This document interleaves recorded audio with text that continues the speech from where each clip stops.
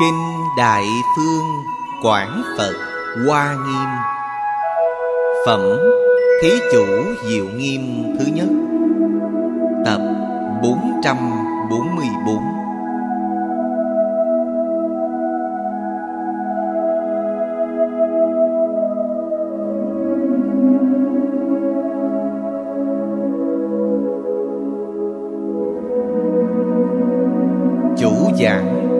Tịnh không, lão Pháp Sư? Chuyển ngữ, Cự Lan. Biên tập, Minh Trí Và Kiến Văn. Thời gian, Ngày 23 tháng 10 Năm 2001 Địa điểm, Hiệp hội Phật Đà Giáo dục Hồng Kông. Các vị đồng học Xin dở bản kinh. Trường hàng. Thần chủ sông. Câu thứ sáu. Vô nhiệt tịnh quan Chủ hà thần. Đắc phổ thị nhất thiết Thanh lương thiện căn Giải thoát môn Danh hiệu của Bồ Tát Đều là dạy học. Nghĩa thu biểu pháp, Chúng ta nhất định phải thấy rõ. Vô nhiệt Nhiệt là phiền não.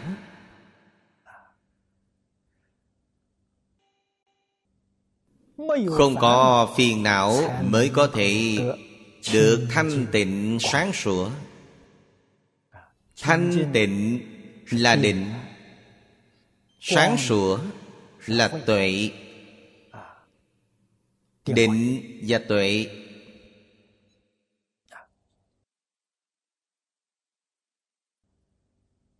Pháp môn Ngài đã đắc.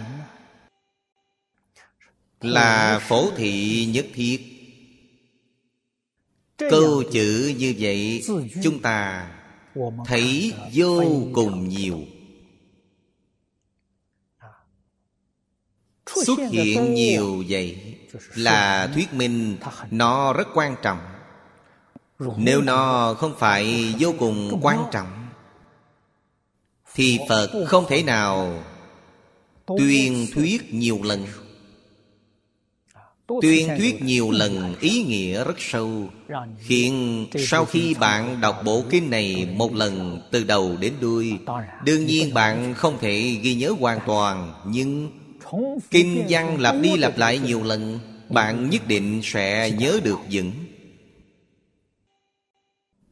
Đức Thế Tôn dùng phương pháp này Tăng cường sức ký ức của học trò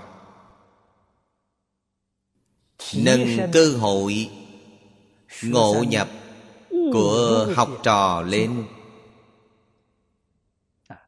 dụng ý này chúng ta phải hiểu được. Do đó có thể biết chúng ta phải làm sao để chặt đứt tự tư tự lợi đi. Tôi tin rằng rất nhiều rất nhiều đồng học đều rất vui lòng Buông xuống tự tư tự lợi Nó là thứ không buông xuống được. Sự tình này đúng là khó khăn. Trong tiên luận tiểu thừa Đức Phật có tỷ dụ Đó là phá ngã chấp. Độ khó của phá ngã chấp. Phật nói là bộc lưu Bộc lưu là thác nước mà ngày nay chúng ta nói Thác nước này lớn bao nhiêu? 40 dặm. Thác nước lớn 40 dặm vậy Bạn có thể ngăn lấp nó lại. Thì nó không chảy được. Bạn nghĩ xem phải dùng sức mạnh Ghi gớm cỡ nào? Phật nói Phàm phu chúng ta nếu phá ngã chấp Thì độ khó là như thế.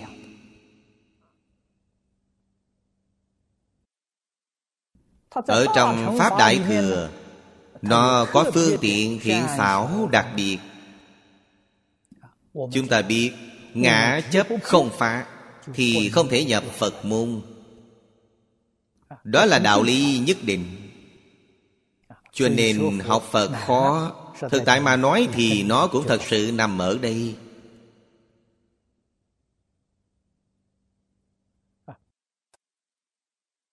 Trong ngã chấp thì đầu tiên là thân kiến. Tất cả chúng sanh đều xem thân là ngã. Quan niệm này làm sao có thể quán đổi nó được? Phương tiện trong đại thừa phật pháp là phổ thị nhất thiết. Phương pháp này hay tuyệt. Ấy là nói khởi tâm động niệm nghĩ đến tất cả chúng sanh. Đừng nghĩ đến cái tôi.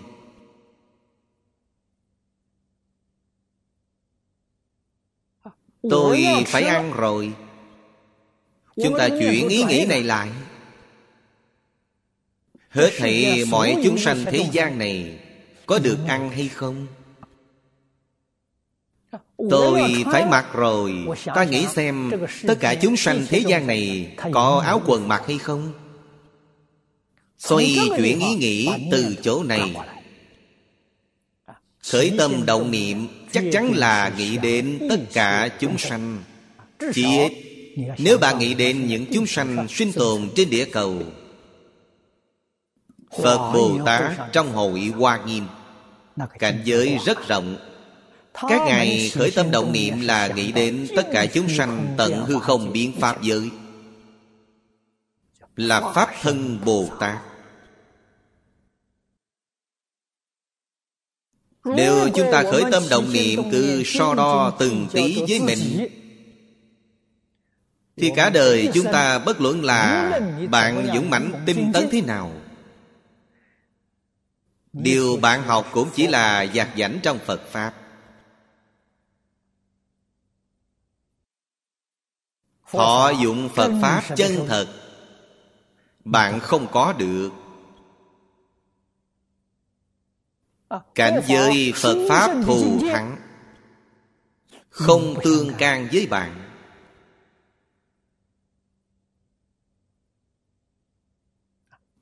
Chúng ta phải làm một sự chuyển biến trong chỗ này. Cho nên câu như vậy, trong tất cả kinh luận, chúng ta thường xem thấy phật dùng gợi ý vô số lần, biết phàm phu chúng ta nghiệp chướng sâu nặng nói một lần, hai lần, mười lần, trăm lần, ngàn lần, không nhớ nổi. Nhớ không nổi, chẳng bằng với nói suông ư. Cho nên, lặp lại ngàn lần giảng lần. Đó là ân đức, đó là từ bi. Hy vọng chúng ta ghi nhớ niệm niệm đều gì tất cả chúng sanh. Ngày nay những gì chúng ta làm đều là gì tất cả chúng sanh?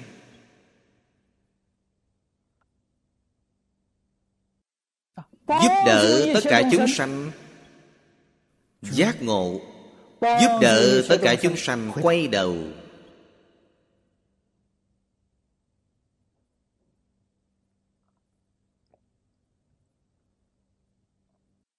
cho nên điều ngài đã thể hiện chính là nói danh hiệu.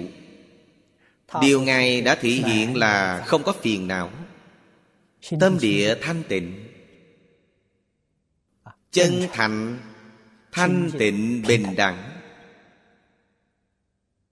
Đó là ý nghĩa của vô nhiệt tịnh quang. Ấy là chánh giác. Được hiển thị sau đó phổ thị là từ bi. Không có tâm từ bi làm sao có thể phổ thị? Chúng ta nắm được tổng cương lĩnh học phật.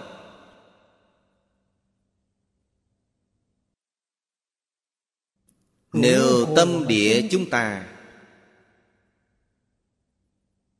không chân thành đối người đối sự đối vật. Dẫn xen tạp điều hư ngụy. Sự hư ngụy ấy là nhiệt não Là phiền não Là nghiệp chướng. Chúng ta vẫn sẽ bị ô nhiễm bởi cảnh giới bên ngoài. Mắt thấy sắc Bị sắc ô nhiễm Bạn sanh khởi tha mái Trong sắc tướng Bạn bị ô nhiễm rồi. Sanh khởi chán ghét Bạn cũng bị ô nhiễm. Hay nói cách khác Cảnh giới bên ngoài Hãy bạn tiếp xúc thì Bạn động tâm Khởi tâm động niệm. Khơi dậy yêu ghét của mình. Khơi dậy Tham sân si mạng của mình Là bị ô nhiễm rồi. Tâm của bạn không thanh tịnh. Sự không thanh tịnh ấy là việc nào? Phiền não Phật Bồ Tát Đại Từ Đại Bi. Thị hiện trong thế gian của chúng ta Thị hiện là thân phận như thế nào Không nhất định. Nam nữ già trẻ Mỗi ngành mỗi nghề Tại gia xuất gia. Cho nên bạn phải quan sát cho kỹ Bạn nhìn xem.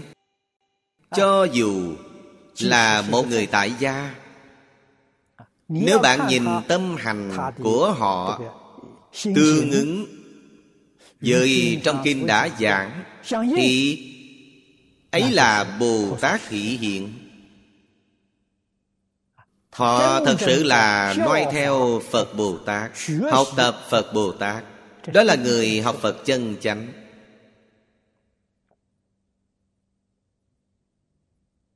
Cảnh giới của Phật Bồ Tát Được triển hiện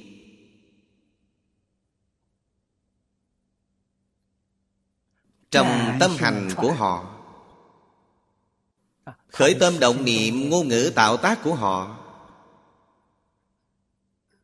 Triển hiện ra cho chúng ta xem. Sau khi chúng ta xem xong Thì tự nhiên giác ngộ. Hiểu được Tâm hành của Chính ta là sai lầm. À, Khởi tâm đồng niệm. Ngôn ngữ tạo tác của họ là chính xác. Là đúng. Nếu chúng ta có sự cảm phát này à, Có sự cảm tưởng này Có sự phát hiện này Chúng ta học được điều gì đó? Đương nhiên quay đầu Quay đầu là bờ. Bờ là gì? Bờ là Phật Đạo, Bồ Tát Đạo. Chúng ta quay đầu từ trong tam đồ lục đạo. Chúng ta hành Bồ Tát Đạo Chúng ta hành Phật Đạo.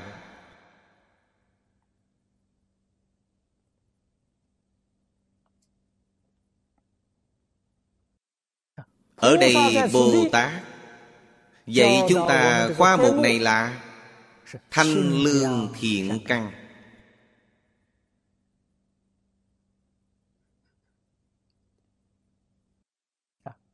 Mỗi một chúng sanh Đều có thiện căn. Với chư Phật Như Lai Không hai không khác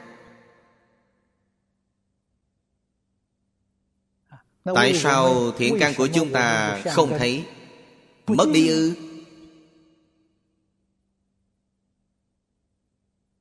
Thiện căn của chúng ta Rốt cuộc đi đến đâu rồi? Nói lão thật là thiện căn vẫn còn. Chẳng qua là thiện căn của bạn bị ô nhiễm.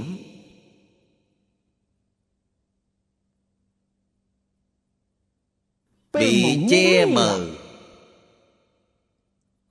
Biến thành một căn nguyên tác ác. Do đó có thể biết thiện căn với bất thiện căn là một căn Chứ không phải hai căn. Giác ngộ thì là thiện căn. Mê hoặc thì là căn nguyên của mọi điều ác. Dùng thuật ngữ Phật Pháp để nói Thì giác ngộ chính là giới định tuệ Mê hoặc chính là tham sân si.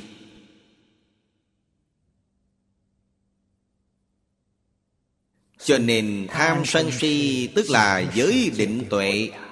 Điều Đức Phật nói trong kinh Chính là ý nghĩa này. Cho nên chúng ta ở thế gian này Có giá trị nhất Có ý nghĩa nhất là gì? Là giác ngộ Không thể không giác ngộ. Chúng ta ngày ngày phải cầu giác ngộ.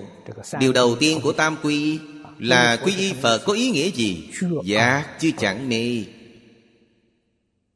Chúng ta quay về từ mê hoặc điên đạo Nương tự tánh giác. Đó gọi là quy y Phật. Phật là tự tánh giác. Không phải ở bên ngoài Cho nên Phật Pháp gọi là nội học. Học ở bên ngoài là ngoại học Tâm ngoại cầu Pháp. Thì gọi là ngoại đạo. Chứ ngoại đạo không phải là nói ra để nhục mạ người khác. Không phải là để chỉ cho tôn giáo của người khác Hiện nay nhiều người nói rằng ngoại đạo là để chỉ cho tôn giáo khác. Ngoài Phật đạo các tôn giáo khác đều là ngoại đạo Như vậy sai rồi. Bạn hiểu sai ý nghĩa hai chữ ngoại đạo Trong Kinh Phật.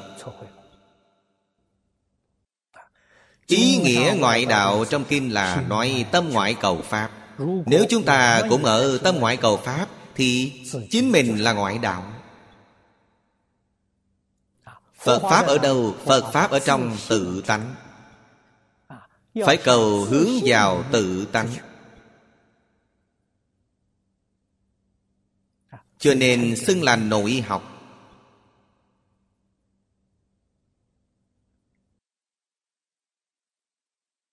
Hiểu được hướng nội để cầu Thì người này là Bồ Tát.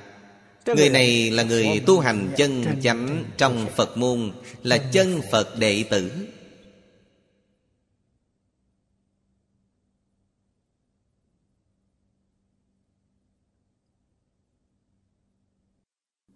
Chúng ta phải khai phát thiện căn Của mình ra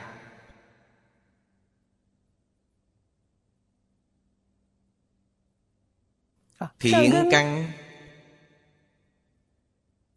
cũng tức là chân tánh. Cũng tức là chân tâm.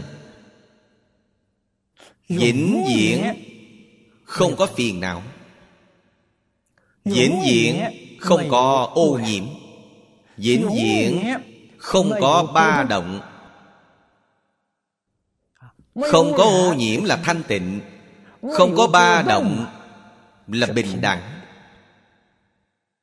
cho nên Đề kinh của kinh vô lượng thọ Là thanh tịnh bình đẳng giác.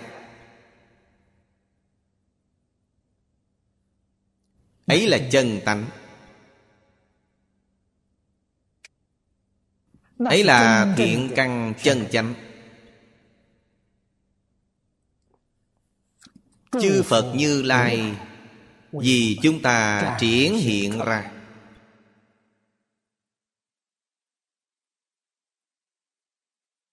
chúng ta phải thể hội được. bạn có thể thể hội được. Bạn mới biết học tập ra làm sao. Tu như thế nào? Khiến chúng ta thanh lương thiện căn. Thiện căn thanh tịnh bình đẳng có thể hiện tiện không những tự thọ dụng viên mãn mà cũng có thể giúp đỡ tất cả chúng sanh. Giúp đỡ họ quay đầu là bờ. Biết hết thảy mọi phiền não nghiệp chướng tập khí đều không phải là chân thật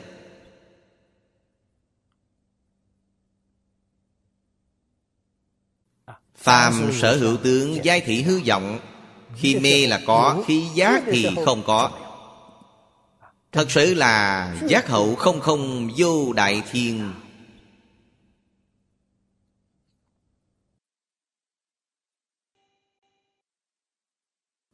Câu thứ bảy. Phổ sanh quan hỷ chủ hà thần. Đắc tu hành cụ túc thí Lệnh nhất thiết chúng sanh vĩnh ly sang trước. Giải thoát môn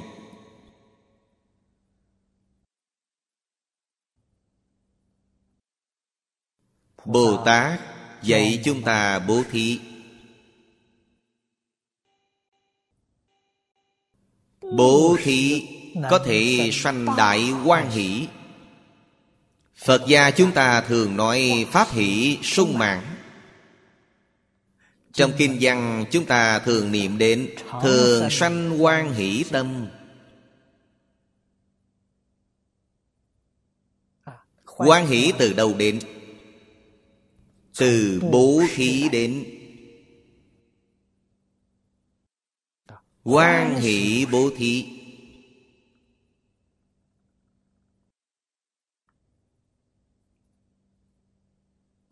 Đức hiệu của Bồ Tát là phổ sanh quan hỷ. Không có dạng nào không quan hỷ. Mọi lúc mọi nơi.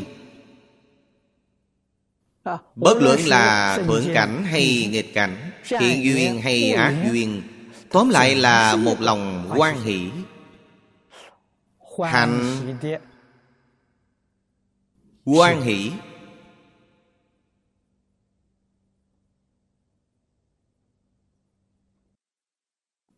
Chúng ta nhất định có thể liên tưởng rằng Người này thân tâm khỏe mạnh. À, Vì sao con người già nua Không có. được pháp hỷ? À, Ngạn ngữ Trung Hoa cổ xưa thường nói Lo có thể khiến người già. Họ lo lắng nhiều. À, Họ phiền não nhiều. Lời bây giờ nói là áp lực họ rất nặng Tự nhiên họ sẽ già nua. À, Nếu một người Tâm địa thanh tịnh Bình đẳng từ bi à, Không có lo lắng Không có tham sân si mạng Không có dướng bận Không có áp lực Thì họ không dễ gì già nua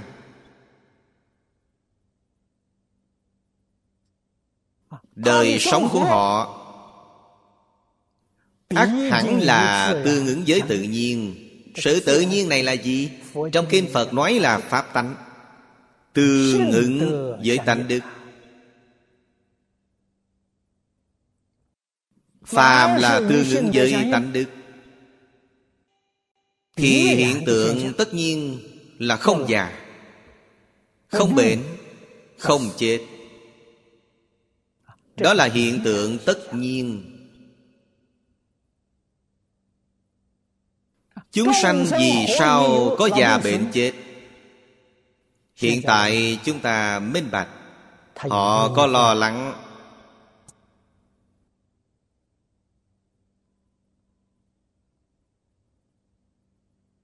Họ có phiền não. Chúng ta nói theo lời thông tục nhất là Họ tự tư tự lợi. Họ có danh văn lợi dưỡng. Họ muốn tham lam hưởng thụ ngũ dục lục trần. Họ thường xuyên khởi tham sân si mạng. Cho nên họ có sanh già bệnh chết.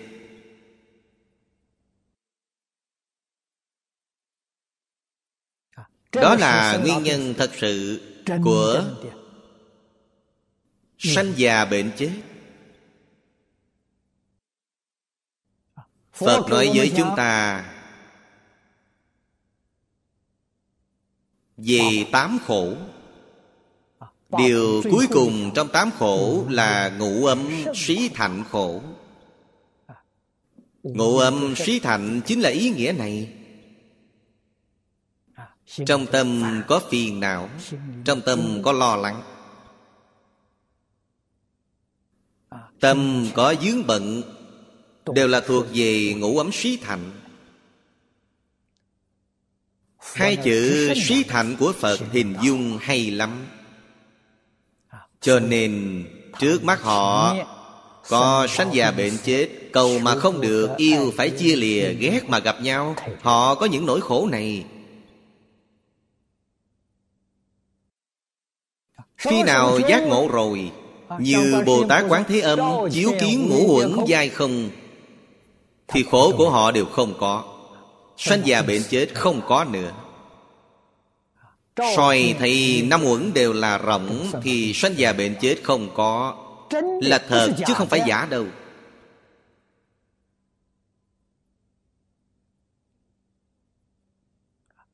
Chúng ta học Phật thì kinh điển là sách giáo khoa của Phật Đà. Những sách dạy này chúng ta phải đọc kỹ, nghĩ sâu. Hiểu sâu nghĩa thú Y giáo phụng hành Thì chúng ta mới được lợi ích. Lợi ích công đức thù thắng Từng phần tự được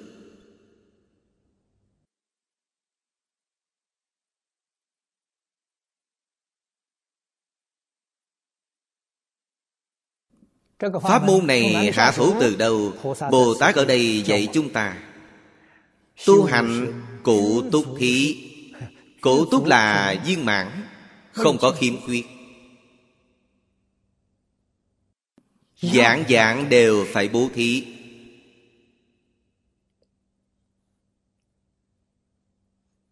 Ngàn dạng đừng có Tư tưởng sai lầm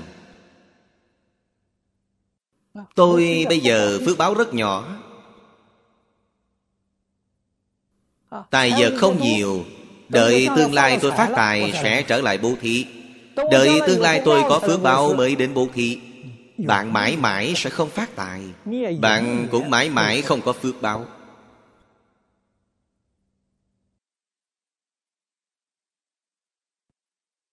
Người giác ngộ chân chánh Thì làm trong hiện tại Tôi có một đồng tiền Tôi bố thí một đồng này luôn. Phật nói Công đức ấy là viên mạng Vì sao? Bạn đem toàn bộ tài sản dốc ra hết. Phước báo mà bạn được là viên mãn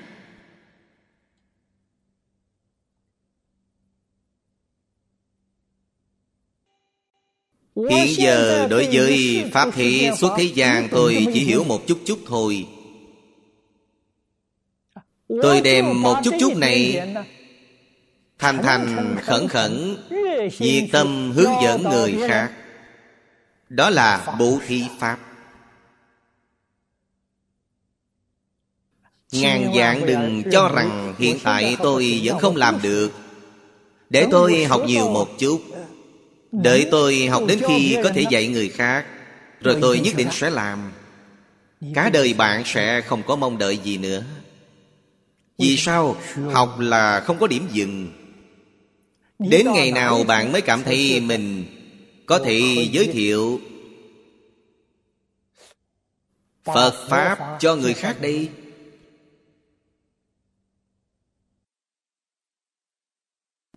Cho nên bạn trở thành tiết Pháp.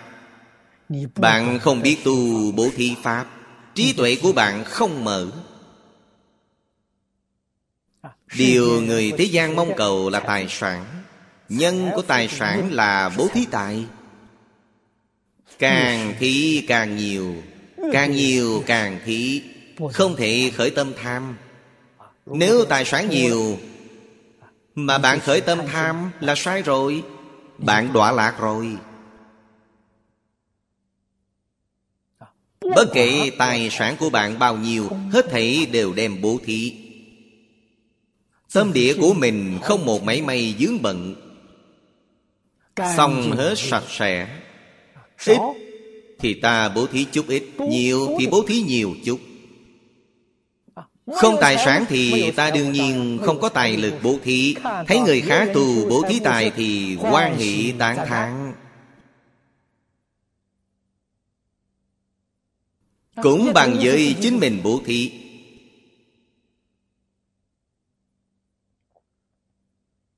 Phật Pháp ta hiểu một câu. Ta đem câu này nói với người Không hiểu gì hết thì ta biết niệm một câu A-di-đà Phật. Ta đem câu này bố thí cho tất cả chúng sanh. Nhìn thấy mọi người ta chắp tay A-di-đà Phật. Là bố thí Pháp. Thành thành khẩn khẩn Cung cung kính kính. Người này tương lai khai trí tuệ Quả báo của bố thí Pháp là trí tuệ.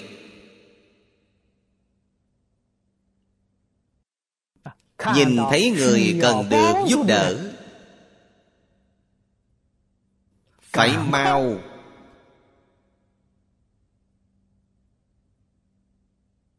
Tận tâm tận lực Giúp đỡ họ. Đó gọi là bố thí vô uy, Nhất là người già. Người sanh bệnh.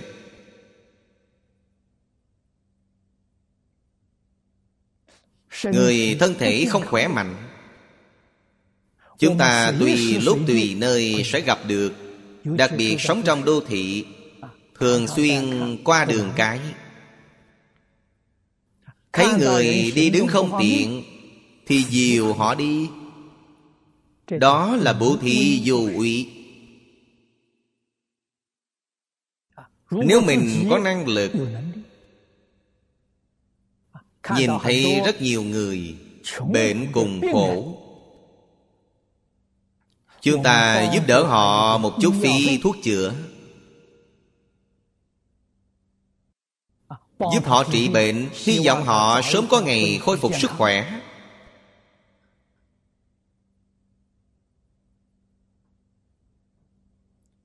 Đó là thuộc về bố thí vô úy.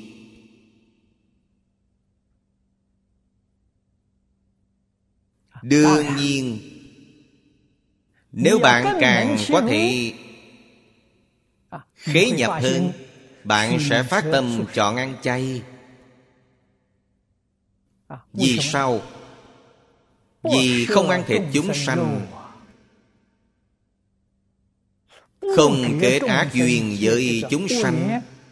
Đó là thuộc về bố thí vô quỷ Quả báo là khỏe mạnh sống lâu.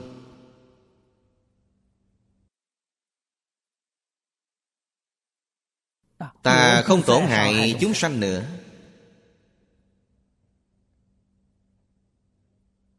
Không những nuôi tâm từ bi của mình thôi Mà còn được quả bao khỏe mạnh sống lâu. Ba loại bố thí này Trong mọi lúc mọi nơi gặp được Đều phải làm gấp. Không có mấy may Do dự. Tận tâm tận lực đi làm. Quả báo mà bạn được là viên mạng Trong ba loại bố thí Đặc biệt là bố thí Pháp. Phật trong tất cả các kinh nói rất nhiều, rất nhiều. Các vị thường niệm Kinh Kim Cang Phẩm Phổ Hiền Hạnh Nguyện. Trong Kinh nói Rất rõ ràng. Bố thí bảy báo trong đại thiên thế giới. Đó là nói bố thí tài Đều không bằng Công đức vì người nói bốn câu kệ.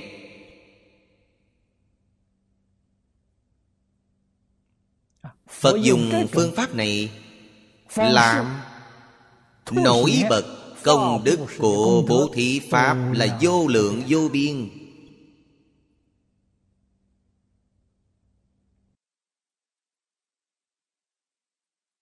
bố thí pháp là đem phật pháp giới thiệu cho đại chúng. Sự giới thiệu này quan trọng nhất là bạn phải có thành ý. Chí thành cảm thông. Bạn không có tâm chân thành thì công đức này không làm được viên mãn. Nếu xen lẫn có tư tâm vào bên trong là tâm bất thiện Tâm bất thiện là gì? Vì danh Tôi giảng kinh thuyết pháp Thì mức độ nổi tiếng của tôi cao. Vì lợi Cúng dường nhiều. Thịnh chúng cúng dường cho tôi. Vì cầu cúng dường. Mọi người cung kính với tôi Tôn trọng tôi. Có một chút chút ý nghĩ bên trong Là phá hoại luôn Công đức tu học của chính bạn rồi. Phước đức mà bạn được Trí tuệ mà bạn được Rất cạn Rất nhỏ. Tu ba loại bố thí này Không cầu điều gì cả. Tuyệt không mong mỏi quả báo Nhưng quả báo tự nhiên sẽ đến. Tại sao? Vì bạn gieo nhân Đâu có lẽ nào nhân không kết quả. Cho nên quả báo nhất định sẽ đến. Sau khi quả báo đến phải ghi nhớ chắc chắn không được tham đắm. Một sự tham đắm là trở thành bệnh. quả báo ấy sẽ hại bạn quả báo hiện tiền để làm gì? Là để giúp đỡ bạn mở rộng cho bạn hành thiện.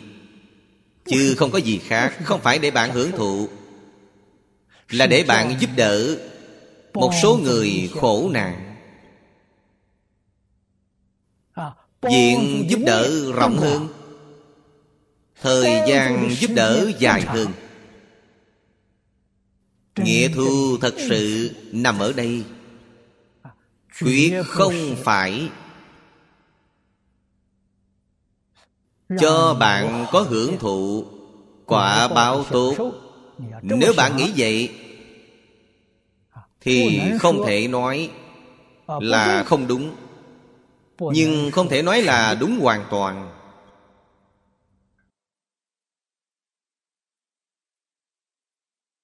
những đạo lý này chân tướng sự thật tóm lại phải hiểu được. Tóm lại phải thấy rõ.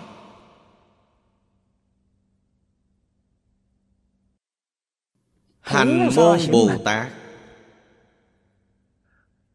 Nếu Quy nạp chung Dùng một chữ để thuyết minh Thì chính là thị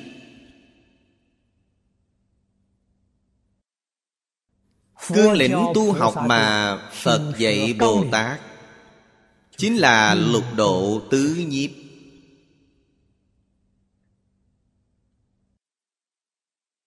Điều thứ nhất trong lục độ là bố thí. Câu thứ nhất trong tứ nhiếp cũng là bố thí. Cho nên bố thí là tổng cương lĩnh thực hành của Bồ Tát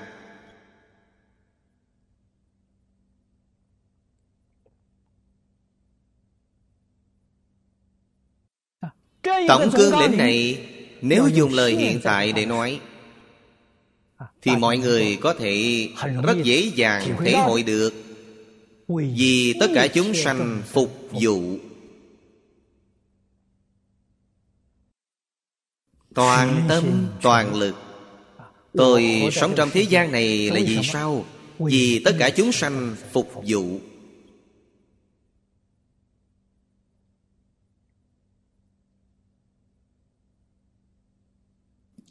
ác cần phải tận tâm tận lực. Mảy không giữ lại.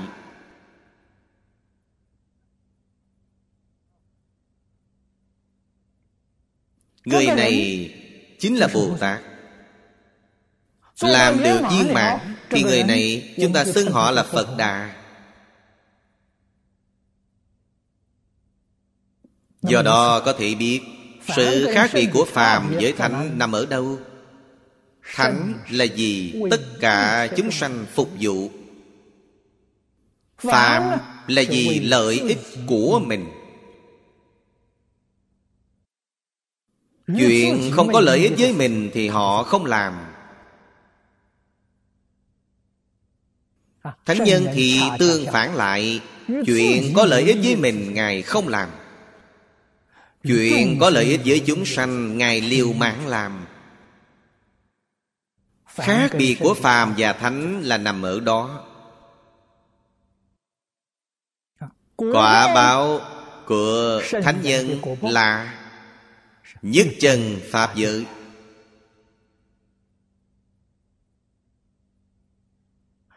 Tự thành pháp giới.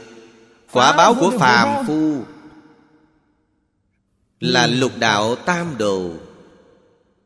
Tất cả đều là gì tự tư tự lợi, lục đạo tam đồ.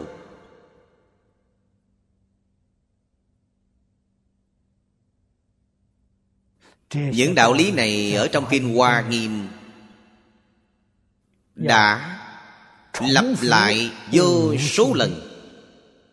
Khiến chúng ta có khái niệm vô cùng sâu sắc.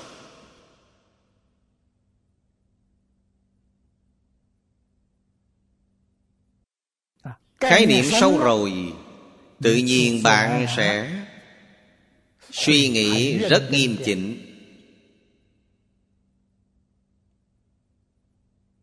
Vì sao? Phật nói vậy. Vì sao nói nhiều vậy? Quan sát kỹ càng hơn nữa về hành trì của phật bồ tát từ từ mình sẽ thể hội được. Giác ngộ được. Bạn cũng sẽ phát tâm noi gương phật bồ tát. Xa lìa tự tư tự lợi. Thật sự chịu. phục vụ gì tất cả chúng sanh mà không cầu bất cứ hồi báo nào.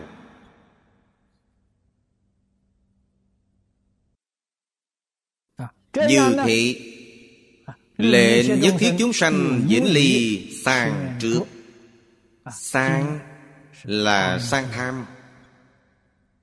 Không xả được cái mình có cho người khác. Trước là chấp trước đó là phiền não căn bản. Tham sân si.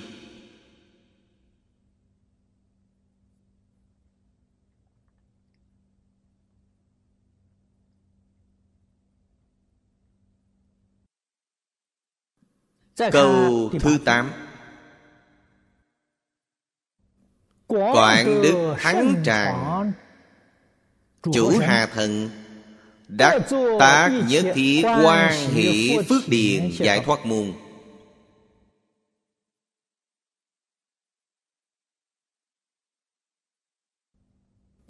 Đức hiệu của Bồ Tát Là quảng đức thắng tràng.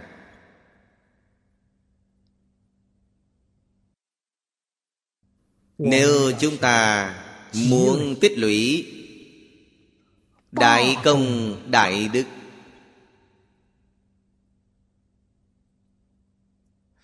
Thì bạn phải học tập theo bồ tát cho thật tốt.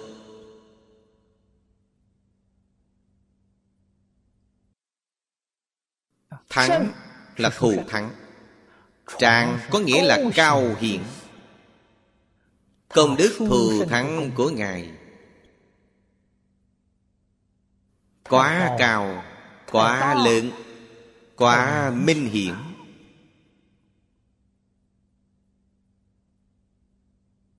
Hai chữ này là hình dung Đại đức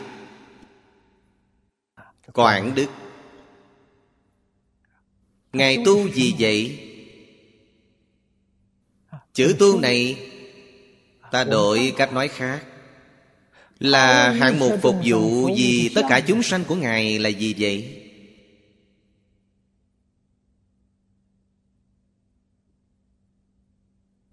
Trong thế gian này làm các loại ngành nghề ấy Đều là thủ đoạn Là phương pháp. Là thủ đoạn Dùng các loại phương pháp thủ đoạn để làm viên viên mãn mãn hạng mục phục vụ của ngài. Hạng mục phục vụ của ngài là tác nhất thiết quan hỷ phước điền.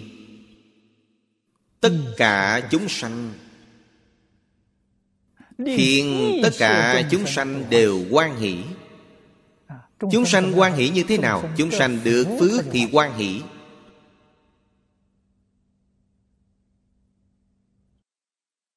Chúng sanh nếu mắc tai nạn Thì họ lo sầu.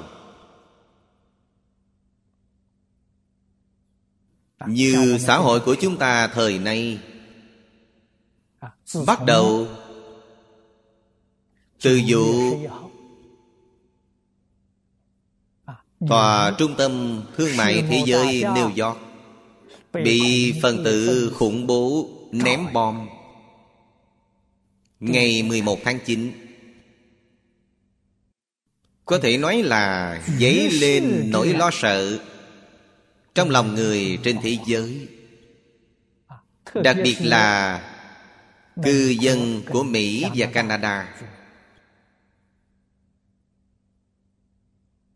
Họ vô cùng lo lắng, Không biết khi nào lại có tai nạn Ngoài ý muốn Giáng xuống nữa.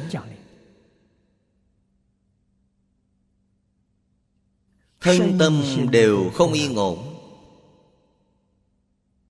À, Sống trong nội sợ hãi. Họ đâu có quan hỷ.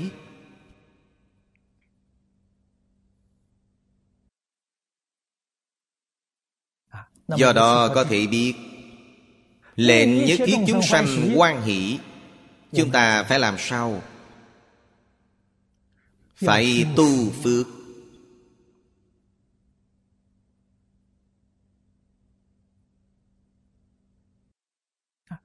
Nếu tu phước Điều kiện đầu tiên là Phải nhận biết ruộng phước.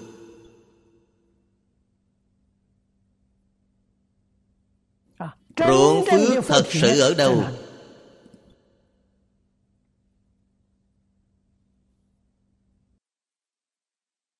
Trong kinh Phật gì chúng ta lược thuyết ba loại ruộng phước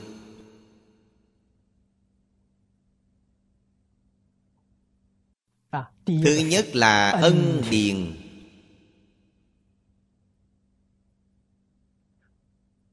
Nho phật đều dạy chúng ta tri ân báo ân.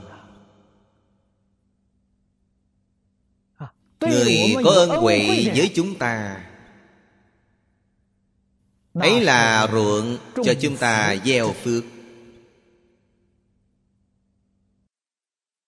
cha mẹ là ân điền.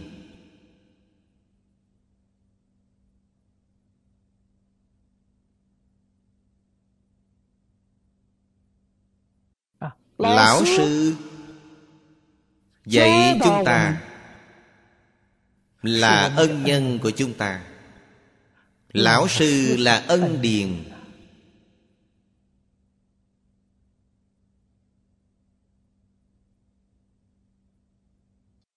lại tiếp nữa. Chúng ta sống trong thế gian này.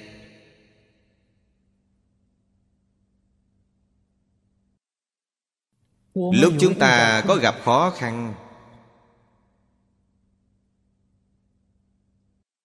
có một số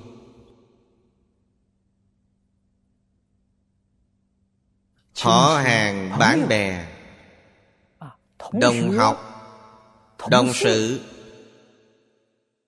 hoặc giả là trưởng quan giúp đỡ chúng ta. Những người này cũng có ân đức với chúng ta.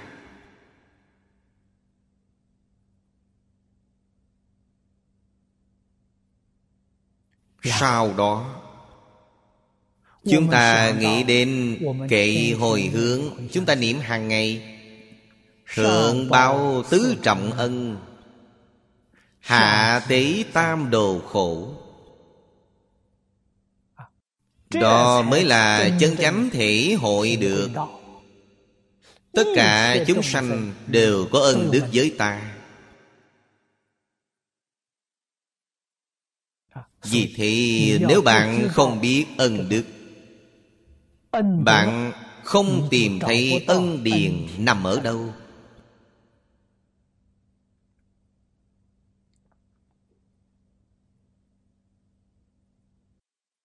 chúng ta làm sao báo đáp đây? Bạn báo đáp. Chính là gieo phước.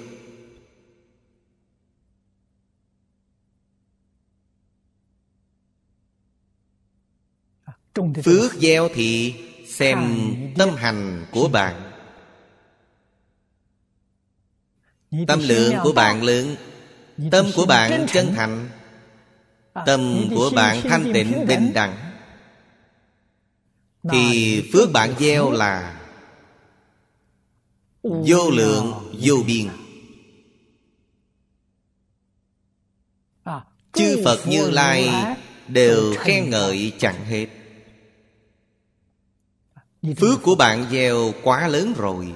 Nếu tâm lượng của bạn rất nhỏ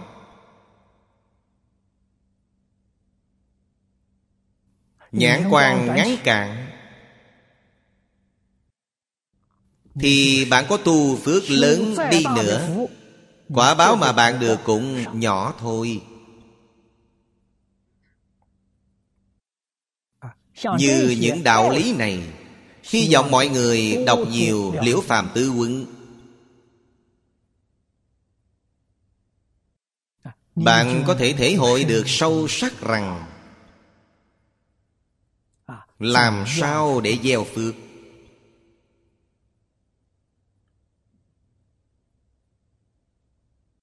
Loại thứ hai là kính điền. Kính là cung kính chuyên chỉ tam bảo.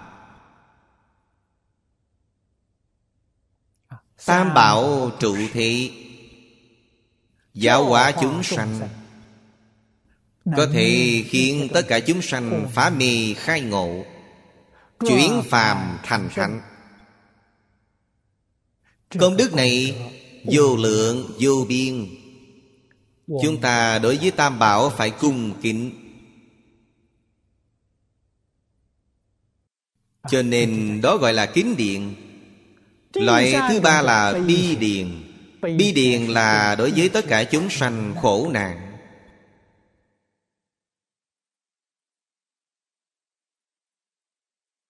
mồ côi ngóa bùa. Cũng bao gồm một số người tàn tật.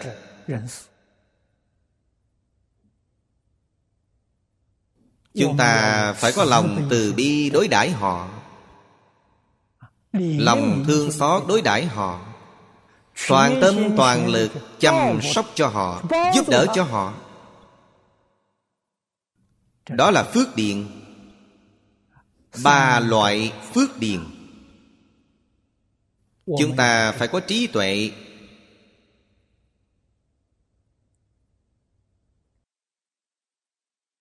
Phải có phương tiện thiện xảo. Đi trồng phước. Lớn vô lượng vô biên. Phước lớn này Không phải hưởng thụ cho mình Mà hồi hướng cho tất cả chúng sanh Pháp giới.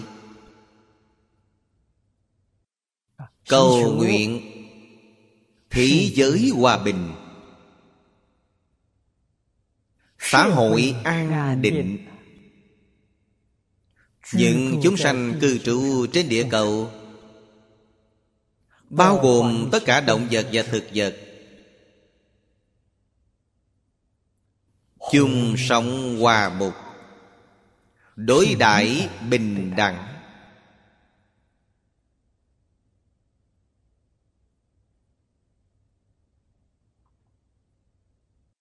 Thế giới này chính là thế giới cực lạc.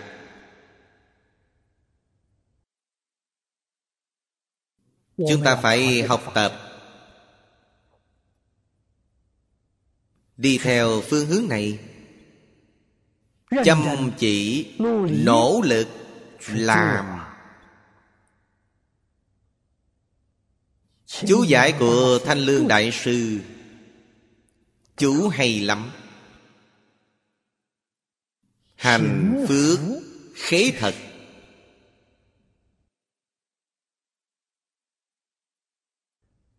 Tu phước phải chân thật.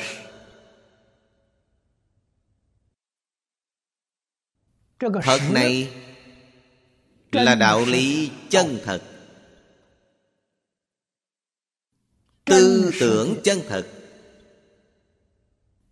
Chắc chắn không có giả dối. Cố kiến vô bất hân. Cũng tức là người ta nhìn thấy họ thật sự có thể sanh lòng quan hỷ. Đó gọi là quảng đức. Câu thứ chín. Quan chiếu phổ thị chủ hà thần. Đắc năng lệnh nhất thiết chúng sanh tạp nhiễm giả thanh tịnh. Sân độc giả quan hỷ. Giải thoát môn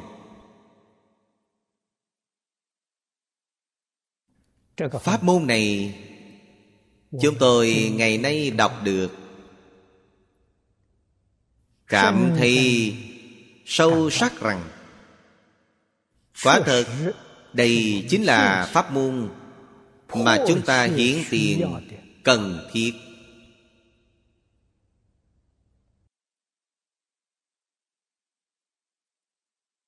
Cấp bách. thế gian ngày nay vì sao có phần tử khủng bố?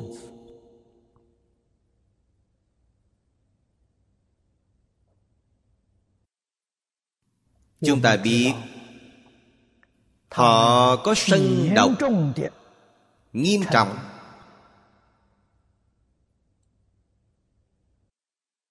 Mà sân độc này lại gây nên như thế nào?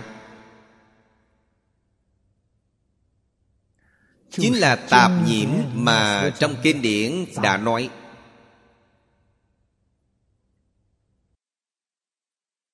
thật sự là nói ra căn nguyên xã hội ngày nay động loạn cho chúng ta.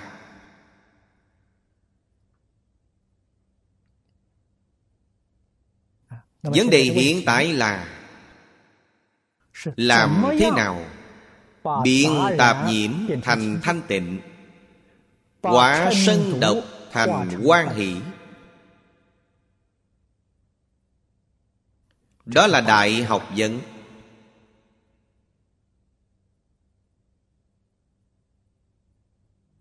Đó là đại công đức.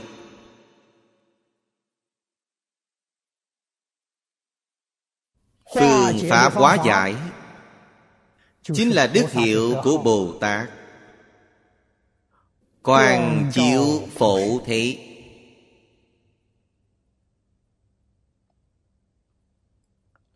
Quan là ánh sáng trí tuệ. Cho nên giải quyết những loại hỗn loạn. Bất an hiện tiền. phải dựa vào đâu? dựa vào trí tuệ chân thật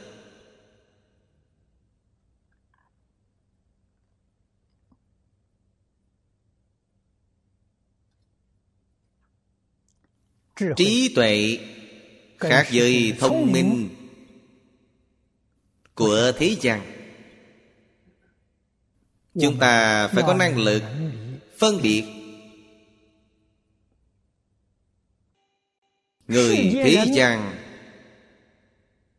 có thế trí biện thông chứ không có trí tuệ trí tuệ với thông minh. Khác biệt ở chỗ nào? trong kinh phật nói với chúng ta rất rõ ràng. Trí tuệ là từ định sanh. Toàn bộ phật pháp chính là giáo học.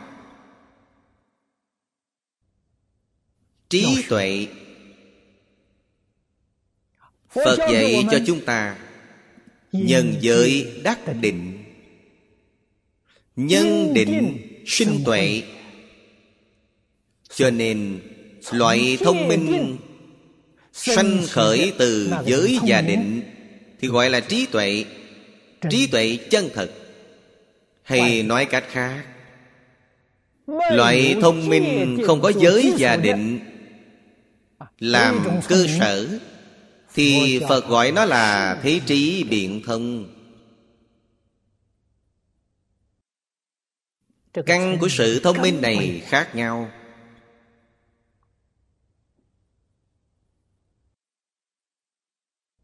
Đó là điều chúng ta cần phải phân biệt rõ ràng.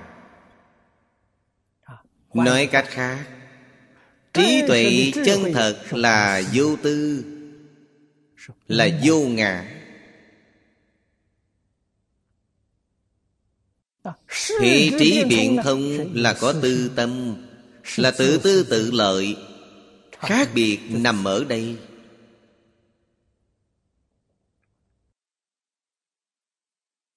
Cho nên Người có đủ trí tuệ ắt hẳn có tâm đại từ bi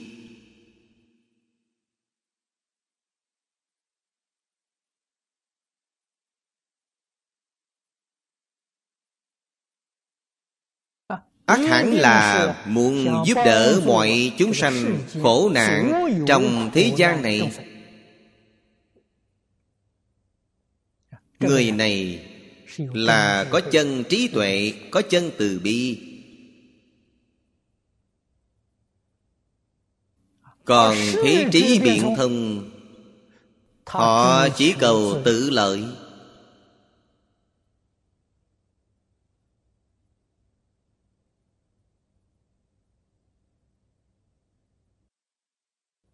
người có quan hệ lợi hại với họ. họ cũng có thể giúp đỡ một bộ phận người. Nhưng họ không có tâm bình đẳng. Họ không thể giúp đỡ tất cả chúng sanh khổ nạn vô điều kiện. Người có trí tuệ thật sự họ giúp đỡ tất cả chúng sanh khổ nạn vô điều kiện chúng ta từ chỗ này thể hội quan sát.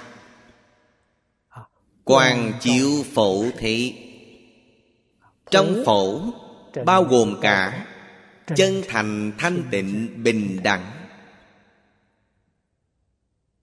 Mới có thể là phổ. Thị là khí văn phạm vi này lớn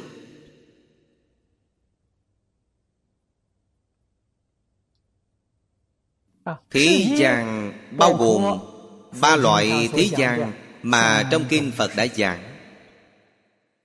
Thế gian hữu tình. Thế gian đồ vật. Thế gian trí chánh giác. Ba loại thế gian này Chính là mười Pháp giới mà trong Kinh Phật giảng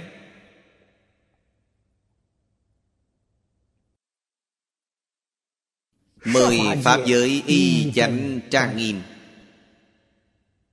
Đều gọi là Ba loại thế gian. Ánh sáng trí tuệ của Phật Bồ Tát soi khắp bình đẳng. Chúng ta thường nói là phật quang phổ chiếu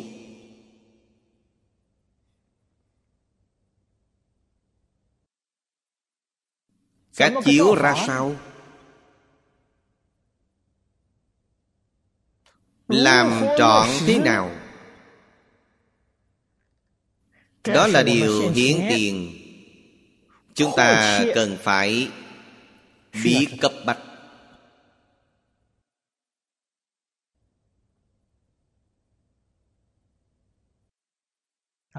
Vấn đề này chính là vấn đề giáo dục. chúng tôi thường hay nói trong nhiều buổi giảng.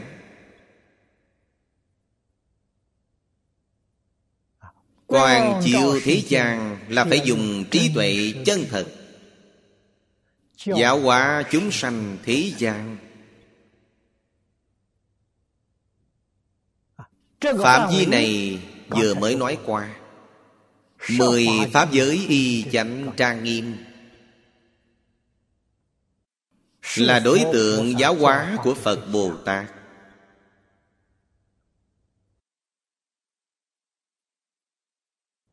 Mục đích chắc chắn của giáo hóa là khiến tất cả chúng sanh mười pháp giới. Sự tạp nhiễm quay về thanh tịnh sự sân độc quay về quan hỷ. Trong đó chúng ta phải hiểu đây là cương lĩnh. Tạp nhiễm. Sân độc là trái ngược tánh đức. Thanh tịnh quan hỷ là tương ứng tánh đức đó chính là dạy xã hội hiện tiền của chúng ta. Chúng ta phải lấy khoa mục nào làm ưu tiên số một? Phật trong bộ kinh này nói ra cho chúng ta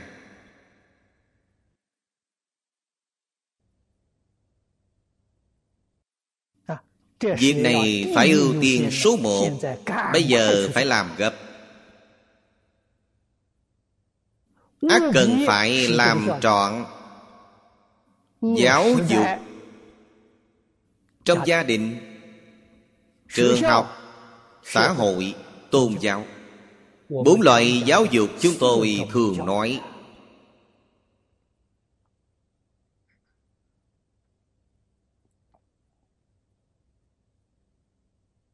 tóm lại mà nói giáo dục này là lời thánh hiền dạy.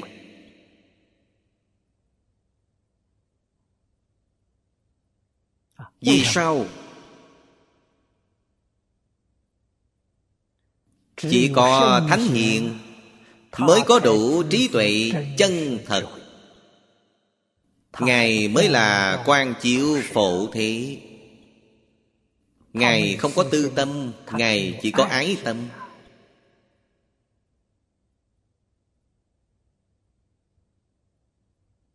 Tâm của ngài là chân thành là thanh tịnh là bình đẳng là chánh giác là từ bi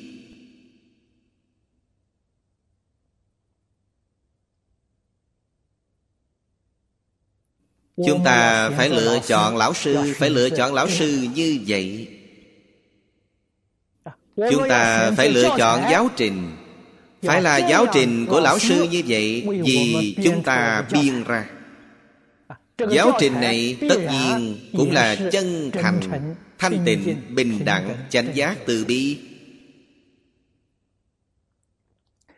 Mới có thể hóa Tạp nhiễm làm thanh tịnh Mới có thể hóa Sân độc làm quan hỷ.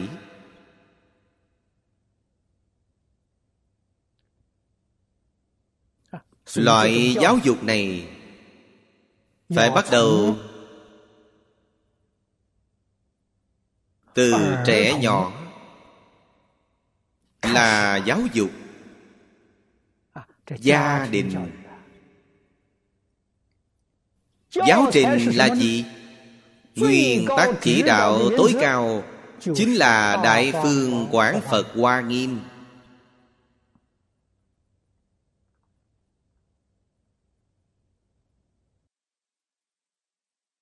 Đó là phương hướng chung Cương lĩnh chung.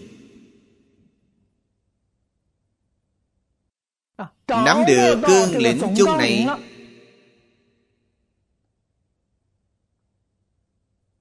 Sau đó lại chiếu theo trình độ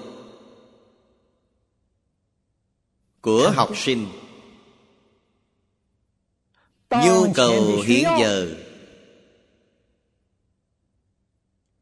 Chia làm khoa mục nữa.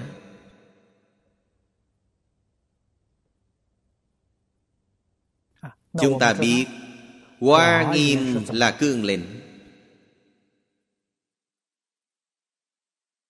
Tam tạng 12 phần giáo. Chính là khoa mục. Trong đó có bài mục lớn Có bài mục nhỏ.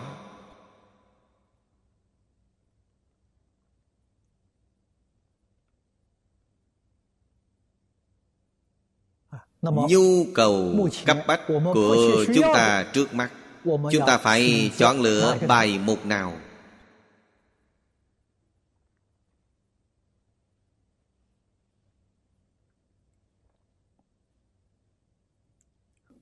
lúc thuở trẻ.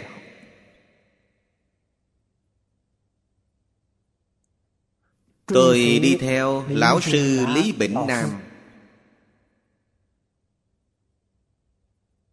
À, lão nhân gia ngài dạy dỗ tôi bằng kinh a nan vấn sự phật các hung.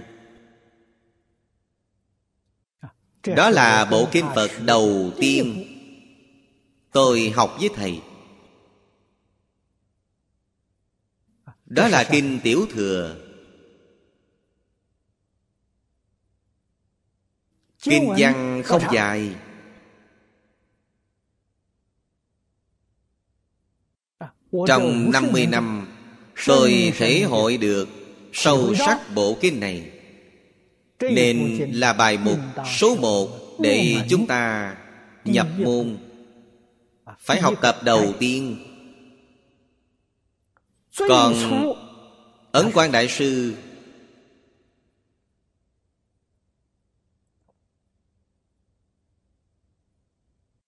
thời cận đại, cả đời lão nhân gia ngài đã đề xướng. Đáng được chúng ta lưu ý. Đó là người cận đại. Rất nhiều đồng tu đều biết Ngài là quá thân của Tây Phương Đại Thế Chí Bồ Tát đến.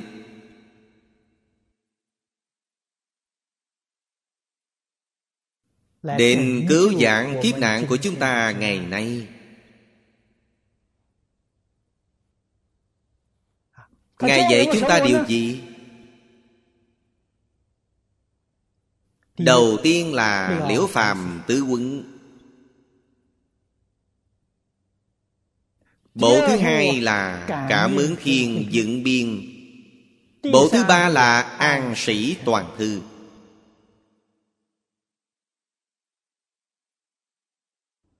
Cả đời lão pháp sư cực lực đề xướng. Tôi lần đầu tiên đến Hồng Kông để giảng kinh là năm 1977 Lúc đó Pháp Sư Thánh Hoài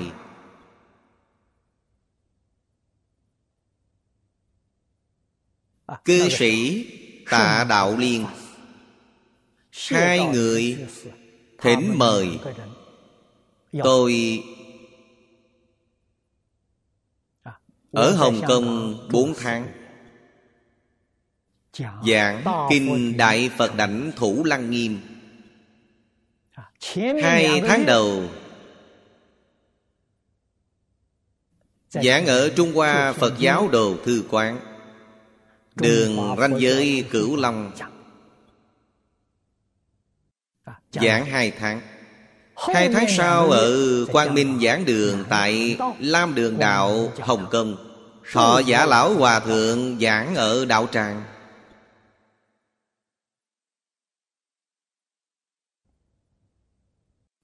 Trong đó kết pháp duyên với Hồng Kông, Ở Trung Hoa Đồ Thư Quán, Tôi có cơ hội Nhìn thấy Kinh luận và thiện thư Được Hoàng Hóa xã Tô Châu xuất bản Cất trong Đồ Thư Quán. Hoàng Hóa xã là do Ấn Quang Đại Sư lập Lão nhân gia Ngài Cả đời Tiếp nhận cúng dường của tứ chúng. Đem toàn bộ ra Làm quỷ của Hoàng Hóa Xà. Chuyên môn In kinh bố thí. Chuyên môn làm bố thí Pháp. In kinh phải cần tiền Tiền là bố thí tài. Chúng sanh đọc những kinh thư thiện thư này Được lợi ích. Biết Quay đầu Biết đoạn ác hướng thiện Là bố thí vô ủy. Phương pháp của lão nhân gia Ngài Dạy ba loại bố thí. Viên viên mãn mãn Cho chúng ta Thế là ta cũng biết học.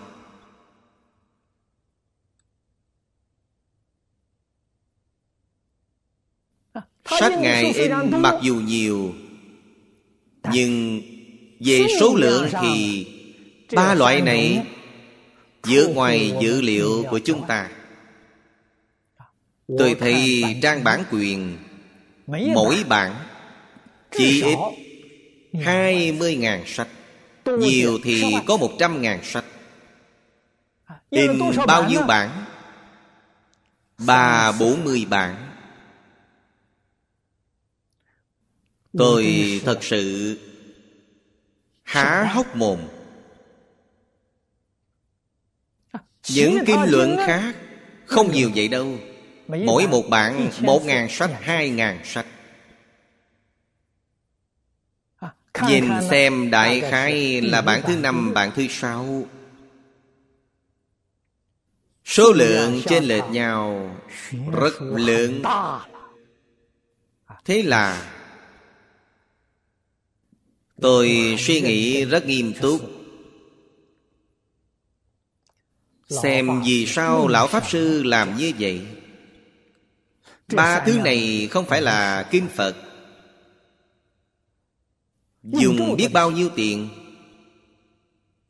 In biết bao nhiêu số lượng? Rốt cuộc là tại sao? Tôi nghĩ rất lâu. Rồi mới quán nhiên đại ngộ.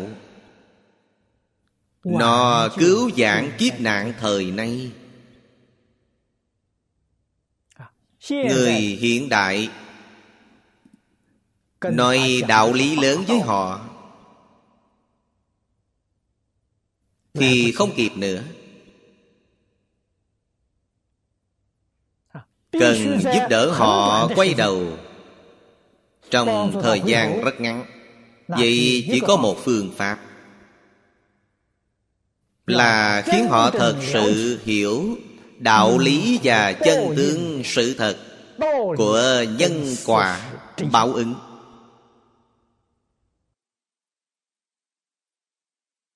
Nếu người thế gian thật sự minh bạch đạo lý nhân quả Biết chân tướng sự thật nhân quả báo ứng. Họ khởi tâm động niệm Sẽ dè dặt lại. Ấn quan đại sư thật sự là miệng đắng lòng thương Mở một đại sự như vậy. Tôi hiểu rõ rồi. Lão Pháp Sư ra đi. Tôi có trách nhiệm Có sứ mạng Bước theo dấu chân của Lão Pháp Sư. Phải phát huy rạng rỡ Sự tình này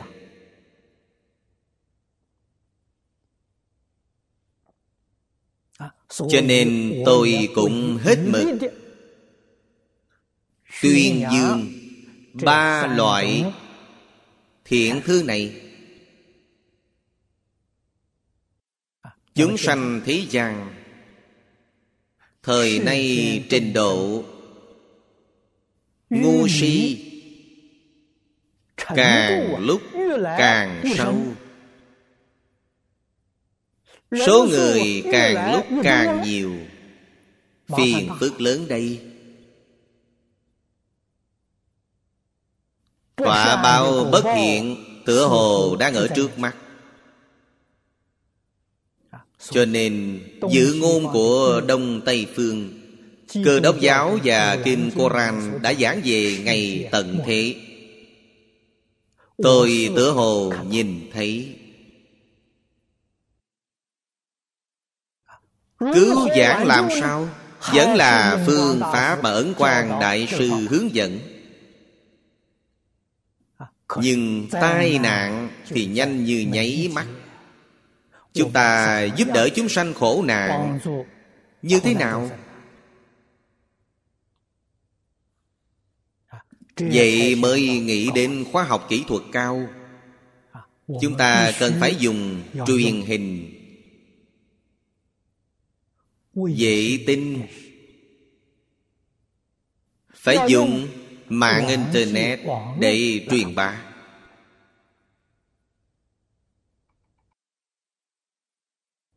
Tuyên dương chánh pháp của Thánh Hiền Quang chiếu phổ thị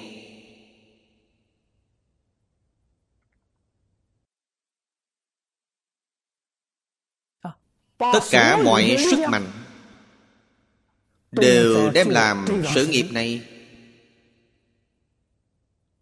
Hy vọng có thể giảng hồi được kiếp giận.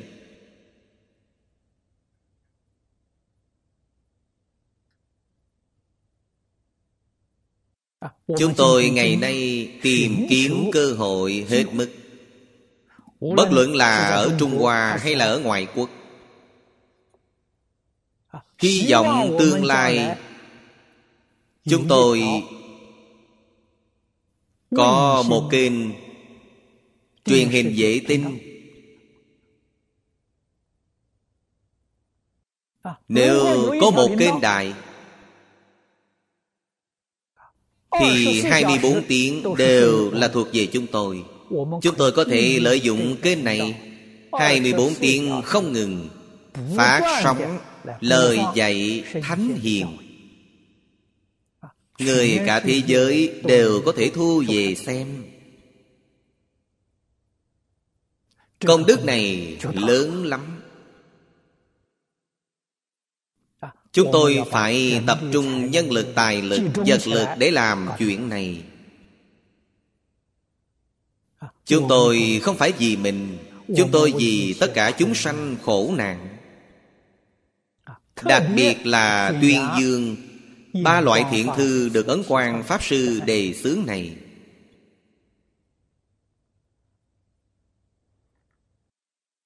Ba loại này đầu tiên. Có mấy vị? Cư sĩ ở Đài Loan phát tâm. Có vị cư sĩ quách phát tâm, Đem liễu phàm tứ quân làm thành Phim truyền hình hai tập. Chúng tôi Thấy đĩa phim này Hai đĩa hai tiếng đồng hồ. Tôi xem vô cùng quan hỷ.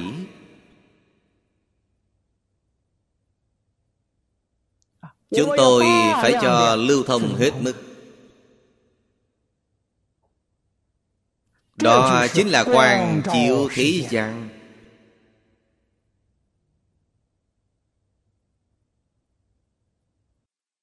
Nhất định phải xem nhiều. Quá khứ tôi thường khuyên đồng tu học Phật rằng Bạn muốn học Phật thì Học từ đâu? Từ liễu phàm tứ quấn Cách học ra sao?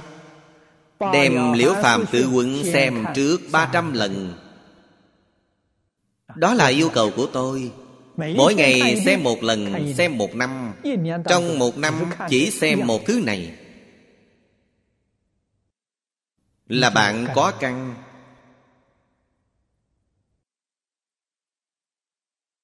Bạn sẽ chuyển tạp nhiễm làm thanh tịnh. Bạn có thể chuyển ác làm thiện chuyển mì làm ngộ. nếu bạn không có thời gian một năm không có công phu ba trăm lần. Bạn rất khó quay đầu. Bạn không dễ dàng giác ngộ cho nên đây là phương pháp mà cổ nhân hướng dẫn chúng ta. Nhất môn thâm nhập, Trường thời quân tu. Không có công phu Một năm ba trăm lần, Bạn không bàn được gì hết cả. Đó gọi là chân tu hành. Thật sự là tự độ độ tha. Bây giờ nó chiếu thành phim truyền hình dài tập hay. Bạn đọc bản kinh cảm thấy có khó khăn thì bạn xem hai đĩa phim. Mỗi ngày xem một lần. Bạn xem một năm. Đừng đổi sang thứ khác Chuyên môn xem thứ này. Những thứ khác đều chớ xem là được Một năm là móng rễ của bạn cắm xuống rồi. Sau đó lại học Cảm ứng thiên. Cảm ứng thiên là tiêu chuẩn thiền ngã Đọa ngã thế nào? Tu thiện thế nào? Tiêu chuẩn nằm trong cảm ứng thiên.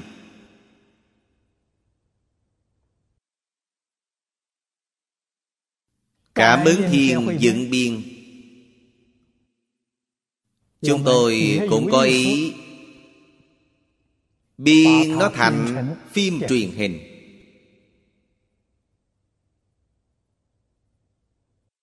Dùng cách này Đạt được mục đích của dạy học. Bộ sách thứ ba là An Sĩ Toàn Thư. Trong An Sĩ Toàn Thư Có bốn bài mục Thứ nhất là Văn xương đế quân âm chất văn. Phân lượng của nó ít hơn Cảm ứng thiên một nửa. Chỉ có hơn 700 chữ. Cảm ứng thiên có hơn 1.300 chữ. Đều là tiêu chuẩn thiện ác. Chúng ta phải học từ chỗ này Hạ thủ từ đây.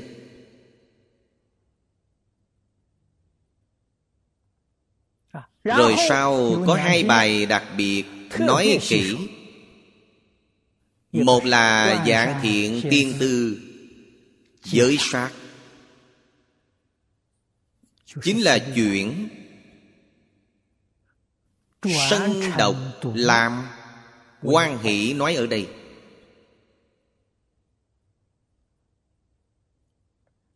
sát sanh là sân độc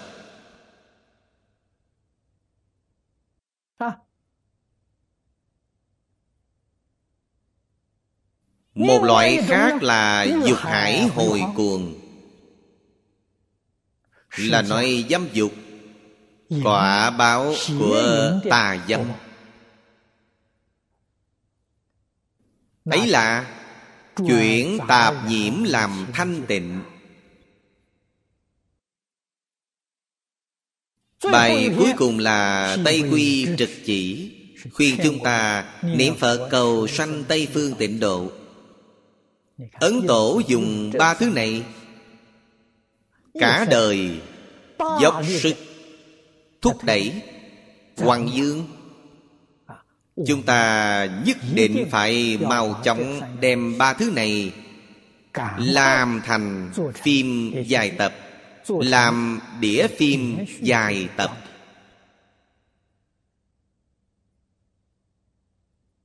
Cho nên, lần này cư sĩ trần lệ lệ trong giới phim ảnh đài loan của chúng ta đến gặp tôi.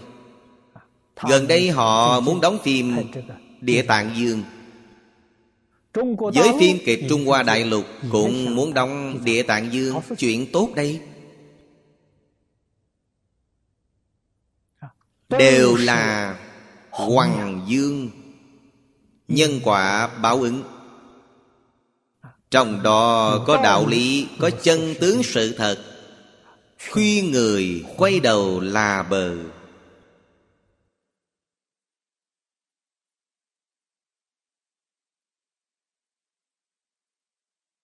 Cho nên ngày nay hoàng pháp lợi sanh nói cho lão thật không phải là ở giảng đường không phải là ở trên giảng đài? Nên hướng tới nghệ thuật cao độ. Hoàng dương Phật Pháp từ xưa đến nay Chính là dùng nghệ thuật Dùng biểu pháp.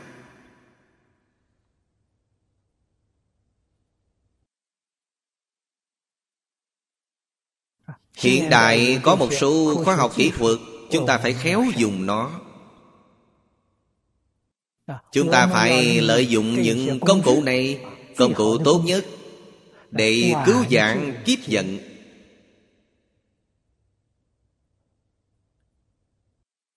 Cho nên Dạy học nghệ thuật Thì Phật với Nho Đều xem trọng Đó gọi là ngũ giáo ư lạc.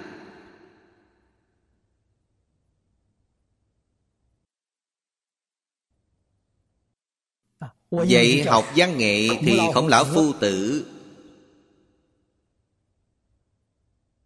Chế định một tiêu chuẩn. Cũng tức là phương hướng chung của văn nghệ Lộ tuyến chung của văn nghệ Phu tử chỉ nói một câu là Từ vô tà.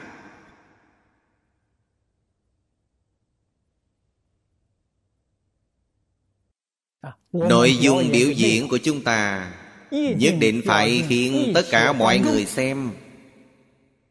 Không biết xem Thì sau khi nghe rồi Sanh khởi tà tri tà kiến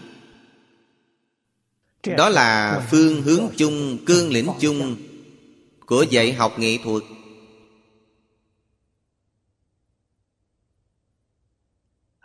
Ấn tổ. Vì chúng ta gợi ý được rõ ràng hơn sáng sủa hơn. khiến chúng ta tiếp xúc. Nghe rồi thấy rồi biết thiện nhân thiện quả. Trồng nhân thiện được quả thiện tạo ác nghiệp ác thọ ác báo.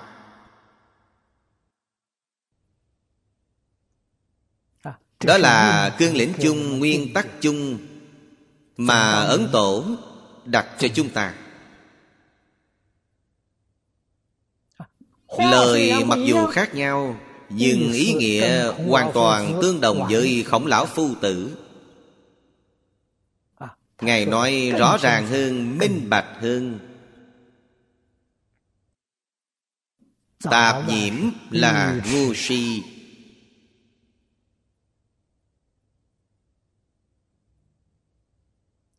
Sơn độc là nghiệp nhân của địa ngục Ngu si là nghiệp nhân của súc sanh.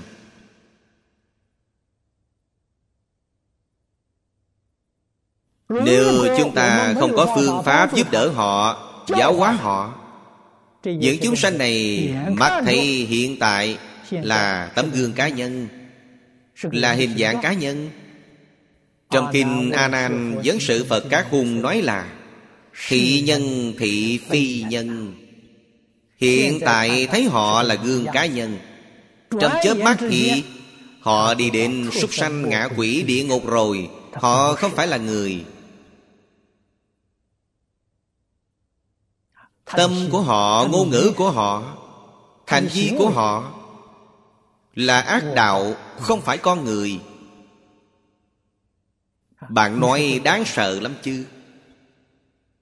Trong kinh điển Phật giảng rõ ràng thì Chúng ta đọc rồi. Rét dựng lông tóc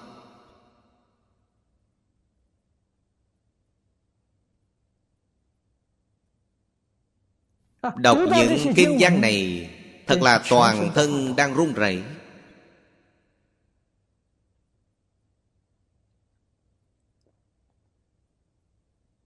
Chúng ta tự mình giác ngộ Tự mình quay đầu Làm sao để giúp người khác? Giúp quảng đại chúng sanh Của thế gian. Đó là nhu cầu hiện tiền. Cấp bách Chúng ta phải làm một sự nghiệp lớn.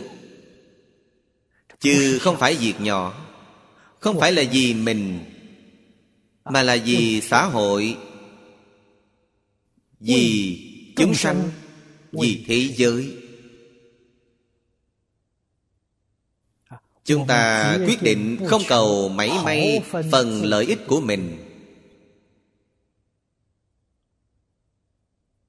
Ngày nay chúng ta đọc đoạn kinh văn này. Cảm thọ thực tại rất sâu rất sâu. Nếu người thế gian không giác ngộ Đều mang lòng sân khỏe Oan oan tương báo. Thì còn được sao? Oan oan tương báo Quả hại kéo dài đến hậu thế. Đời đời kiếp kiếp bao giờ mới hết?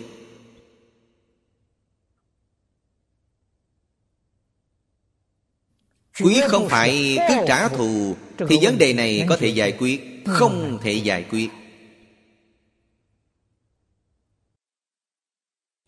Nhất định phải dùng lời Thánh Hiền dạy. Khiến hai phương diện tự tha đều giác ngộ. Oan gia nên giải không nên kết. Chỉ có lời Thánh Hiền Dạy mọi người Mới tâm phục khẩu phục Mới có thể hóa giải oán hận. Oan cừu và đối địch Sau khi hóa giải Mỗi bên tôn trọng lẫn nhau. Kính mến lẫn nhau Tin cậy lẫn nhau. Hỗ trợ hợp tác. Thế gian này mới có hòa bình. Mỗi bên đối đãi bình đẳng chung sống hòa thuận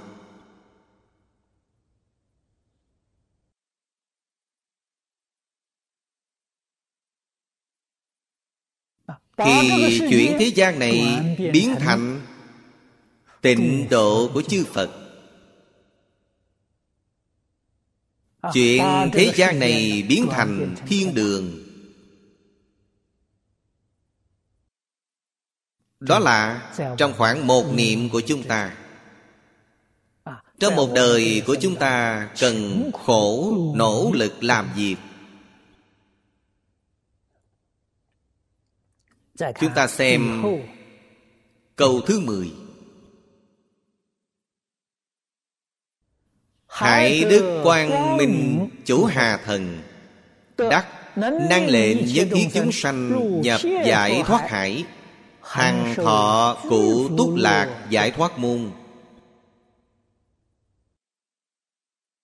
Đoạn này là không thể thiếu sót. Vì sao? Nếu thiếu đoạn này thì Trí tuệ từ bi không viên mãn. Có đoạn này thì viên mãn. Quý vị xem đức hiệu Hải Đức Quang Minh này.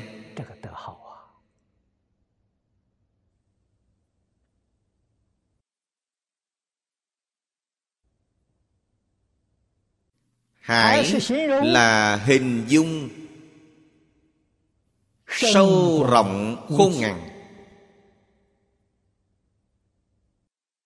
Đại đức này Vừa sâu vừa rộng Rộng Là Khắp hư không Pháp giới. Sâu là suốt quá khứ vị lai. Quá khứ vô thủy Vị lai vô chung.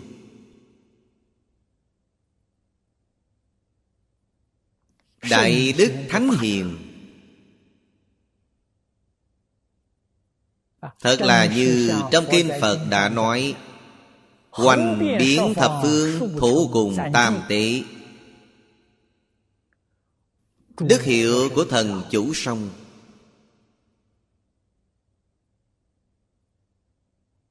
Đó chính là tông chỉ Ngài hướng dẫn chúng ta. Bài mục dạy học Của Ngài Là Năng lệnh nhất thiết chúng sanh. Nhất thiết chúng sanh tương ứng với đức hiệu của Ngài Hoành biến thập phương thủ cùng tam tế Đó là nhất thiết chúng sanh. Đều có thể nhập giải thoát hải. Giải thoát là niết bàn rốt ráo Mà trong kinh Phật giảng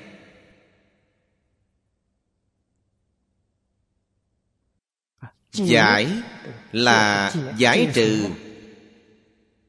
Giải trừ phiền não. Giải trừ ràng buộc. Phiền não này Là kiến tư phiền não. Trần sa phiền não. Vô minh phiền não Nếu chúng ta Giải trừ kiến tư phiền não Thì thoát khỏi lục đạo luân hồi. Thoát này là thoát ly quả báo. Thì thoát ly lục đạo luân hồi. Giải trừ trần sa phiền não Thì thoát khỏi tự thành Pháp giới Tự thành thêm lục đạo gọi là mười Pháp giới. Thanh văn duyên giác Bồ Tát. Phật Pháp giới trong mười Pháp giới. Chỉ cần giải trừ Được Trần sa phiền não Thì Bạn thoát ly mười Pháp giới Cuối cùng Giải trừ vô minh phiền não. Thì bạn viên thành Phật Đạo. Chứng đắc quả vị cứu cánh. Hai chữ giải thoát Hàm nhiều ý nghĩa vậy. Cho nên bạn phải hiểu được Giải là gì, thoát là gì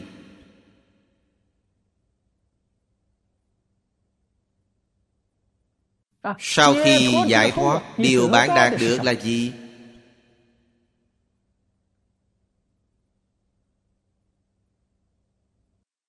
Nếu nói giải thoát kiến tư Lục đạo Bạn có được điều gì? Chánh giác. Bạn có được chánh giác. Nếu lại tiến thêm Bạn giải thoát Trần sa phiền não Thì thoát ly mười pháp giới Bạn có được điều gì? Chánh đẳng chánh giác. Nếu giải trừ Vô minh phiền não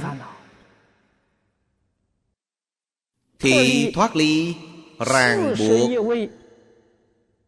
Của 41 ngôi Pháp thân đại sĩ Bạn chứng đắc Vô thượng chánh đẳng chánh giác. Cho nên A Nậu Đa La Tam Miệu Tam Bồ Đề Là quả báo quả đức.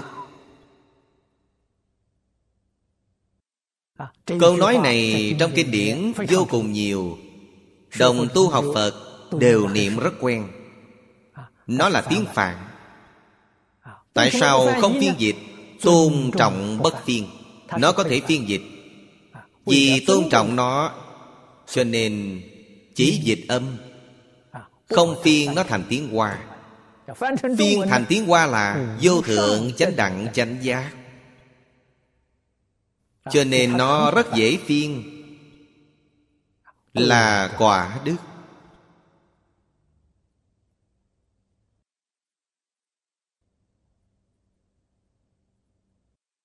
Như vậy mới gọi là viên mãn. Thanh Lương Đại Sư Chú giải. Ở chỗ này là Tổng thu giảng thiện Lệ nội Niết Bàn.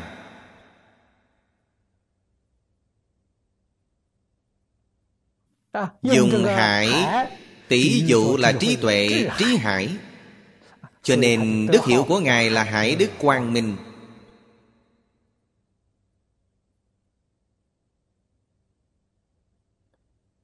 Chú giải mặc dù không nhiều. Nhưng ý nghĩa đều viên mãn.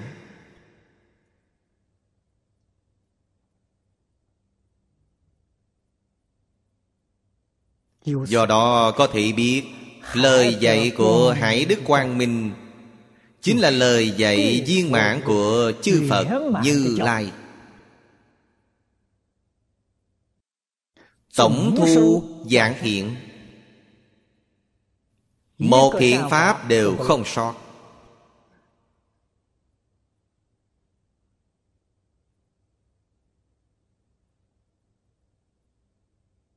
Giúp đỡ chúng ta Thành tựu Vô thượng chánh đẳng chánh giác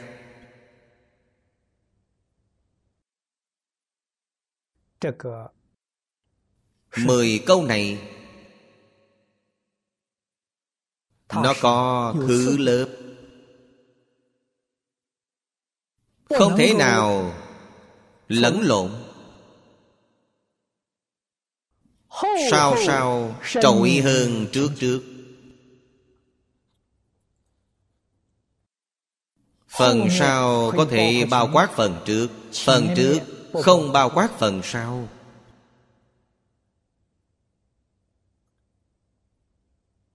Như xây nhà lầu vậy. Nhà lầu 10 tầng. Tầng thứ 10 nhất định bao quát 9 tầng dưới.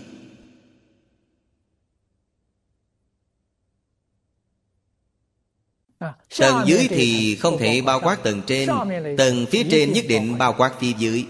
Vì sao? Theo nó mà dựng lên. Đó là một cách nói. Nhưng trong giáo nghĩa Hoa Nghiêm thì Nhất tất nhất thiết Nhất thiết tất nhất. Nó là viên dung. Đúng là Thanh Lương Đại Sư đã nói rằng, Hành bố bất ngại viên dung. Viên dung bất ngại hành bố. Hành bố là thứ lớp. Từ một đến mười là thứ lớp. Thứ lớp chẳng ngại viên dung Viên dung chẳng ngại thứ lớp. Cho nên nói theo giáo nghĩa Hoa Nghiêm, Bất cứ một điều nào Cũng có đủ chín điều khác. Một tức là nhiều Nhiều tức là một. Ý nghĩa này mới gọi là Đại viên mạng Mới tương ứng với Tánh đức viên mãn. Nếu một điều không thể trọn đủ Tất cả Thì không phải là tánh đức. Tánh đức quyết định là viên dung Quyết định là Viên hàm tất cả. Viên mãn bao hàm tất cả. Vì sao? Vì tất cả Pháp thế xuất thế gian Là duy tâm sở hiện Duy thức sở biến. Tánh thức là một. Làm sao nó không viên dung được?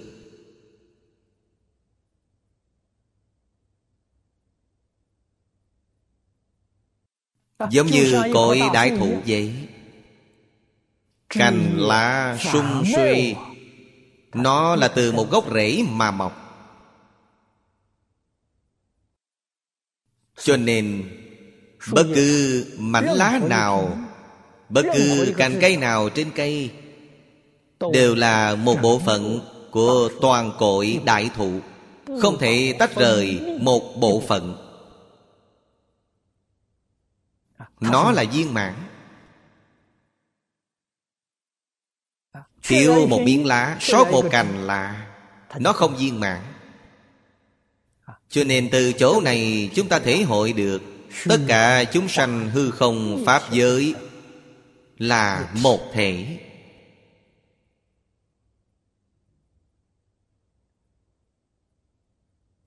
Nếu có sự nhận biết này thì người ấy giải ngộ